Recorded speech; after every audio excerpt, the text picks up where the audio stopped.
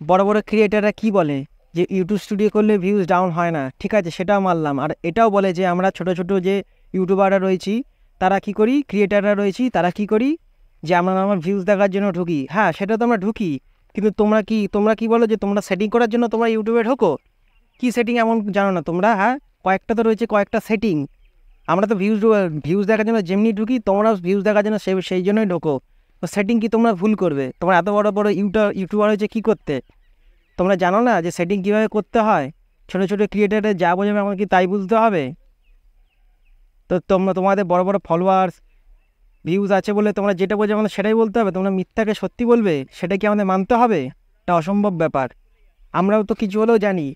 তোমাদের না সাকসেস হতে তিন বছর টাইম লেগেছে, চার বছর টাইম লেগেছে। কিন্তু আমাদের, আমরা তিন মাসে অনেক কিছুই জেনেছি। তো রেডি থাকুন নেক্সট ভিডিওর জন্য।